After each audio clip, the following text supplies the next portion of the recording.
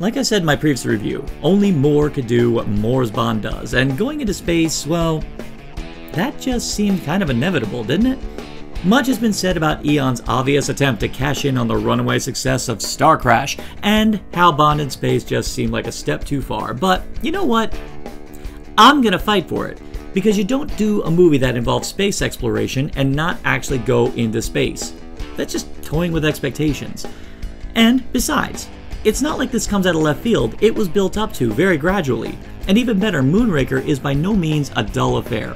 The film still has a load of incredible action pieces, starting with the skydiving sequence, the fight in the Glass Museum, which actually makes for an interesting setting for a brawl, and let's face it, we all love the sound of glass breaking.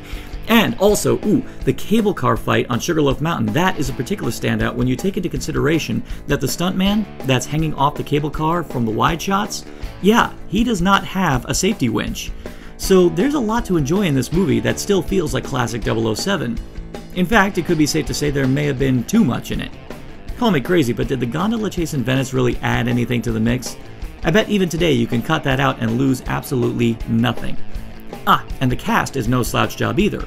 Michael Lonsdale plays Hugo Drax with a sort of eerie calm. He treats Bond's interference as sort of a minor distraction, and that's the edge that makes this villain work his obsession with total control. It's not until the end when things start crashing down around him that he becomes totally unhinged. Oh, and speaking of monsters, literally, back by popular demand, it's Jaws, the monolithic silver grilled assassin who falls in love with a adorable little woman with pigtails. I'm honestly okay with this. I suppose even spiritual cousins to Walter from The Mask have a soft, fluffy side. As for the humorously monikered Holly Goodhead, uh, what is there to say about her? She's an undercover agent.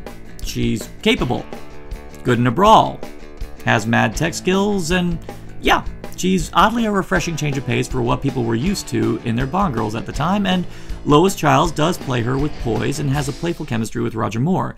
The con of the character is that while she is capable and serves the plot effectively, she doesn't really have much in the way of depth. Apart from her being an agent, you don't really know much about her, and in lieu of all the time we spend with this character, we never get a chance to connect. Even some of the lesser Bond girls actually gave us an opportunity to know them on a personal level.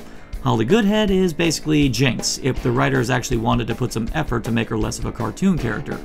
Though, despite my statements, this is a minor nitpick.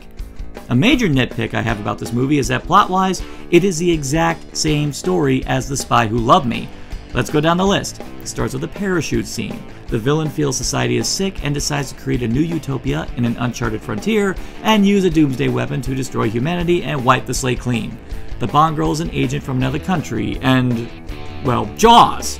Moonraker is essentially the 007 equivalent to the Doctor Who episode Silver Nemesis. And like Silver Nemesis, it's very entertaining. But why watch that when it was done better in one film prior?